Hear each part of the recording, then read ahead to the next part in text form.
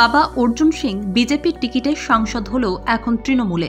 কিন্তু পুত্র পবন সিংহ দল বিজেপির প্রতি অনুগত। ভাটপাড়ায় দুবারের বিজেপি বিধায়ক প্রধানমন্ত্রী নরেন্দ্র মোদীর সঙ্গে দেখা করার দৌড়ে রাজ্যের প্রধান নেতাদের থেকে এই মুহূর্তে অনেকটা এগিয়ে।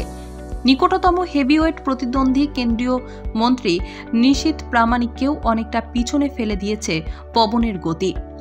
তার সামনে শুধু দুই অখ্যাত বিজেপি কর্মী। প্রধানমন্ত্রী হওয়ার পরেই মোদি নমো অ্যাপ চালু করেন। সেখানে তার জামানায় কি কি কাজ হয়েছে সেসব দেখা যায়।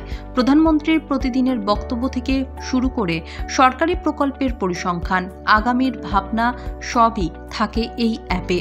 এছাড়াও প্রতিদিন এই অ্যাপে দলের নেতা কর্মীদের জন্য কিছু টাস্ক থাকে। বিভিন্ন খবর পোস্ট করা থেকে প্রতিযোগিতায় অংশ নেওয়া কিংবা অন্যদের এই অ্যাপ ব্যবহারে উৎসাহিত করার জন্য দৈনিক, সাপ্তাহিক এবং মাসিক প্রতিযোগিতা থাকে। এর জন্য অ্যাপে পয়েন্ট পাওয়া যায়। সেই পয়েন্টের ভিত্তিতে যিনি প্রথম হন, তার মোদির সঙ্গে দেখা করার পুরস্কার থাকে। এছাড়াও দ্বিতীয় তৃতীয়দের জন্য নানান পুরস্কার দেন প্রধানমন্ত্রী। কাউকে তার সই করা বই, কাউকে মন কি বাত অনুষ্ঠানের সংকলন, কেউ পান মোদির থেকে বিকশিত ভারতের রাষ্ট্রদূত সার্টিফিকেট। চলতি মাসে সেই দৌড়েই বাংলায় এখন তৃতীয় স্থানে পবন। তার উপরে দুইজন থাকলেও তাঁরা সেভাবে পরিচিত নন। জানুয়ারি মাসে প্রতিযোগিতায় এখনও পর্যন্ত আট হাজার উনসত্তর পয়েন্ট পেয়ে এক নম্বরে রাজেন্দ্র প্রসাদ মণ্ডল। দ্বিতীয় স্থানে পাঁচ হাজার আটশো উনপঞ্চাশ পয়েন্ট পেয়ে সুখেন বর্মন। এরপরই বিধায়ক পবন পেয়েছেন পাঁচ হাজার ছশো একচল্লিশ পয়েন্ট। চতুর্থ মন্ত্রী নিশীতের প্রাপ্তি তিন হাজার আটানব্বই পয়েন্ট। দু হাজার নশো উনআশি পয়েন্ট পেয়ে পঞ্চমে রয়েছেন কালীচরণ সাও নামে এক বিজেপি কর্মী। প্রতিযোগিতার ধারে কাছেও নেই রাজ্য সভাপতি সুকান্ত মজুমদার, বিরোধী দলনেতা শুভেন্দু অধিকারী সহ রাজ্যের প্রধান নেতারা। নেই আর কোনো সাংসদ বা বিধায়কও।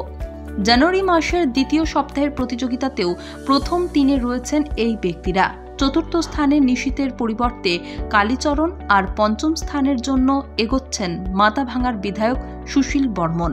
দুটোটি তৃতীয় স্থানে থাকা পবন অবশ্য এটাকে প্রতিযোগিতা হিসেবে দেখছেন না।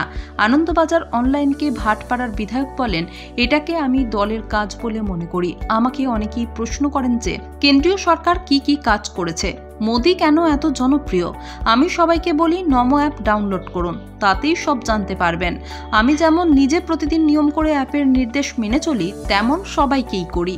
দলের অন্য নেতা, সাংসদ, বিধায়কদের বিষয়ে মন্তব্য করতে না চাইলেও পবন বলেন, আমি মনে করি সকলের এই অ্যাপ ব্যবহার করা উচিত। তবে দল সম্পর্কে, দেশ সম্পর্কে সব জানা যাবে। প্রকৃত বিজেপি নেতা হয়ে ওঠার জন্য এই অ্যাপ শিক্ষকের কাজ করে। মোদিজির সঙ্গে দেখা করা সব বিজেপি কর্মীর কাছেই স্বপ্ন। কিন্তু আমি তার জন্য নয়, দলের নির্দেশকে পালনীয় কর্তব্য হিসেবে দেখি। আগামী লোকসভা নির্বাচনে বিজেপি যে নমো অ্যাপকে বিশেষ গুরুত্ব দিতে চাইছে, তা আগেই স্পষ্ট হয়েছে। প্রার্থী বাছাইয়ের জন্য নমো অ্যাপের মাধ্যমে কর্মীদের মতামত নেওয়া হচ্ছে। প্রচারে কোন কোন বিষয়ে জোর দিতে হবে, বক্তৃতায় কি বলতে হবে, কি বলতে হবে না, সবেরই সন্ধান দেবে এই অ্যাপ। বিষয়টিকে বিজেপি এতটাই গুরুত্ব দিচ্ছে যে রাজ্যে রাজ্যে নেতাদের প্রশিক্ষণও চলছে। শনিবারই কলকাতায় প্রশিক্ষণ দিতে এসেছেন নমো অ্যাপের জাতীয় আহ্বায়ক কুলদীপ সিংহ চাহাল। সেই প্রশিক্ষণে সুকান্ত সহ সব রাজ্য নেতাকেই যোগ দেওয়ার কথা। ডাকা হয়েছে সব মোর্চা নেতাদেরও। আসার কথা আপাতত তৃতীয় স্থানাধিকারী পবনেরও।